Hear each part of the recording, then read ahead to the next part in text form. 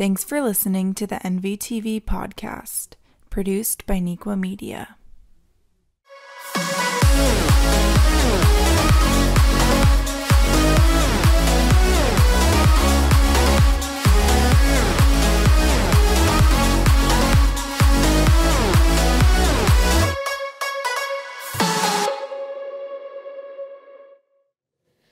Welcome to this episode of the NVTV podcast. I'm Rhea Smith. On today's show, we'll be talking about National Women's Healthcare Month. So, thank you, Shafah and Tara, for being here today. Yeah, happy to be here. Hi. um, so basically, like women in healthcare, I know from like history has been very like like debated because people have not like respected women a lot, and that's been like a historical issue. Yeah, that's like a very big issue because what I've been like learning from US history, women have been trying to fight for their rights for like years. It has been such a gradual thing and even now like we're still trying to fight for that. But one of the biggest things back in history was definitely healthcare, but the fact that like women weren't able to do much back then because they would think that they're that they should just stay home and like take care of children at home and stuff like that, then they definitely wouldn't really consider them as like doctors or anything. But nowadays, I'm I literally have like all my doctors are literally women, and Yeah. I just feel a lot more comfortable like seeing that like whole diversity thing now. Yeah. I also think there's been a lot of improvement in the past couple of years. Um, obviously, uh, as an athlete, I feel like um, women's health is pretty important because obviously we have our own. Like Our own like problems. Yeah, because yeah. for women, our reproductive health is a very like important because for us, we can lose our periods pretty easily.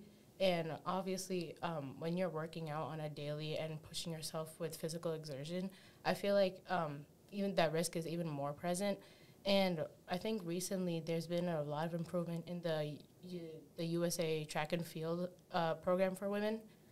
So yeah, I think how they've uh, really monumented on the period health in that sector is shows how we've improved in the past uh, couple decades.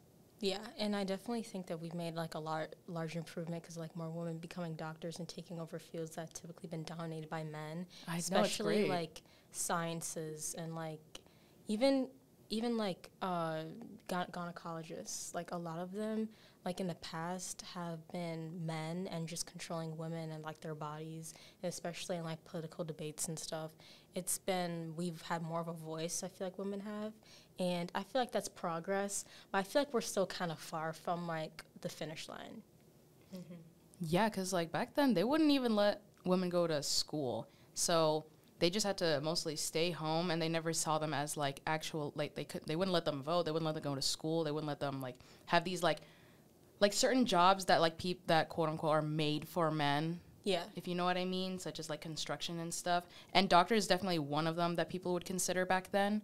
So just seeing how like so many women back then are easily able to get in like schools now, get in colleges. Like there are so many like nurses and doctors that are women. Right. Even men are nurses now, which is which is great. Yeah, and that's and that's good because like I feel like gender roles especially are changing, and that's like for the better because a lot of like people have like like a lot of men being stay-at-home dads is like more socially acceptable, and then a lot of like women being working people has been more socially acceptable. And I know like we've understood that in like history classes and also even government classes because um, a lot of women are just getting power and notoriety that they deserve. Um, Yeah.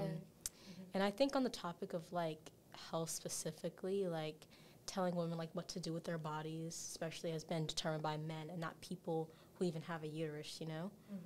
Yeah, that's what I'm saying. It's like I just feel like they should like we should let the people who have those problems Decide for themselves. Yes, yes, decide for themselves. because it's their body, not yours. Yeah, and I feel like this is a very Mm-hmm. important time and month in history to be able to just appreciate women for who they are and appreciate how Mm-hmm. they have came really far. And um, a lot of women have actually made inventions and specifically to medicine and health. So they they had so many inventions made by women. It's crazy. No, cuz like we like even in school, like in this school, we see so many girls going to like um like trying to plan to go into like medical school or like trying to like do anything with biology like anything like medicine related. Like they're Yeah. taking all these classes. They're taking like AP chemistry. They're taking like biology. Yeah.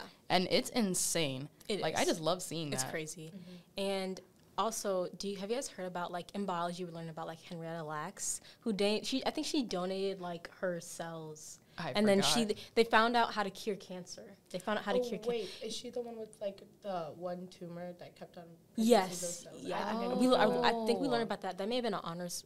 Well, I think it was like an honors biology. That was freshman yeah, it honors was year. honors bio, about yeah. I because I remember Oh we my had God. the cancer unit. Like I mm-hmm. remember that cancer unit. And I I'm, I'm telling you right now, I loved learning about that because I love learning about like the different things. Like it, it's almost like you're in the perspective of, of a doctor. I remember in like honors biology, like my teacher, he would give us like these prescriptions of like these different like fake they're they're not real patients but like these patients who like have these like certain like visual symptoms of showing that it's like cancer and stuff and like you're able to tell like what kind of cancer it is based on like their like kinds of um like symptoms and then you would be the one to like prescribe it and like define like okay you have this kind of cancer i love doing that kind of stuff like Yeah. it's just like what a doctor would do and it feels it, it's so cool Yeah. it's amazing It is. It's super cool, and it's it's just like just showing how impactful women's bodies are to be to be able to make these contributions to science. But then men, just because they find out what to do with those resources that they are given, they claim the whole project or they claim the whole invention. I think that personally, that's kind of wrong. You know,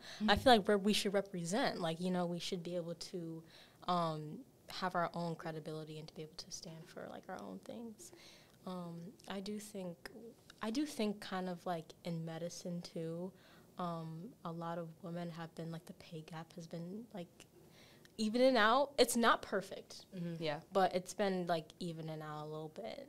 A little Also, bit. like um, in medicine, like the medical field, I feel like women are going into more professions that are more comfortable for them, and Yeah. that in turn like makes the entirety of the women population more comfortable, and they are more open with their medical. Um, like with their medical problems, like for example, how you mentioned before, how like gynecology used to be very male dominated, yes, and recently it's become like um, like there's been more fem- female doctors and more specialists in that area of the female gender and i think um, because of that we're more um, open and like able to discuss our problems Yeah. versus just keeping them within ourselves and that in turn i think just makes all of us more healthy which is obviously a good thing yeah, and I Mhm. think just by like keeping us healthy and just like kind of like those like aspects that you mentioned is just more like more of a reason for us to just try to keep things more equal and to kind of just like make like take back our own power. That- you know? That's the thing. I love it when um I see like doctors who are women, and because like if you're a patient, you're a woman, and you see the doctor's woman,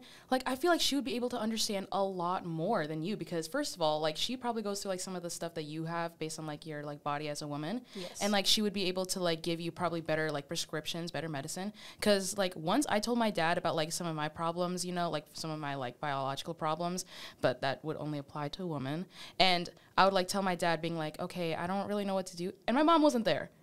So that was kind of really awkward. So I had to like talk to my dad about it, and then all he's saying is like, I don't know. he's like, I don't know. Call your mom. I'm like, my she's not here at all. She can't pick up. She's like, and he's like, I have no idea how search it up it would. Google. he's like, that's exactly what he was like. He was like, uh, I don't exactly know how this works with you, and I'm like, yeah.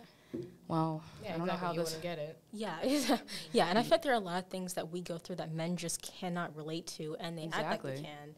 But that's why they can make jokes about it, like about like oh. feminine problems, like periods. They can make jokes about oh, it are because, you new period Oh my god! like, Girl, if you don't like, sh- like stop. But, like, like- it's just annoying. But I just want to credit to all the men who like try to actually learn about the women body, and like all doctors who are men who try to learn about it. Like, good for you guys. Yeah, like, like go you. You know, you're trying I'm to be very educated. happy that you're trying to sympathize with them. exactly. yeah, that's what's so good about about it all. Um, but overall, this is such like a good month to embrace and to represent how we've come so far. We continue to hopefully go farther with women's health yes. and with um, just social acceptedness of everything that they go through. And oh, um, sorry. Because Rhea, you want to be like you want to be I a doctor. I don't wanna be a doctor. at- oh, you do too. Uh-huh. Yeah, I plan to be a pharmacist, not like a doctor. Oh my gosh, we're all here. Just- we're all here trying to like make Women medicine. STEM. women in STEM. That's um, so awesome. Oh my gosh, I love that. Um, thank you both for being here today. Yeah, it's of been course. amazing. Yeah. And um, have hope you all have a great day. Yeah, thank you. Thank you.